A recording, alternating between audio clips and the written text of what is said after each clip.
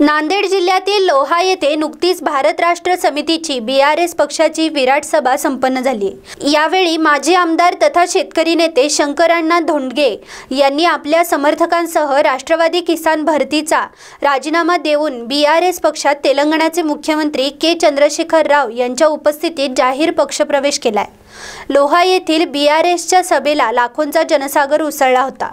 या विराट सभेत बोलताना तेलंगणाचे मुख्यमंत्री के चंद्रशेखर राव म्हणाले देवेंद्र फडणवीसजी तुम्ही महाराष्ट्रातील शेतकऱ्यांना एकरी दहा हजार रुपये द्या मोफत वीज द्या आदिवासींना दलित बंधू योजना जाहीर करा मी महाराष्ट्रात येणार नाही. आणि जोपर्यंत तुम्ही हे करणार नाही तोपर्यंत मी जबरदस्त येत राहणार असल्याचे सांगितले. यावेळी शेतकरी नेते माजी आमदार शंकरांना धोंडगे आंबेडकरी चळवळीचे नेते सुरेशदादा गायकवाड जाकीर चाऊस नागनाथ भिसेवाड यशपाल भिंगे यांच्यासह नेक मातब्बर राजकीय पुढाऱ्यांनी बी आर एस पक्षात जाहीर प्रवेश केलाय. गंगाधर ढवळे झुमो न्यूज नांदेड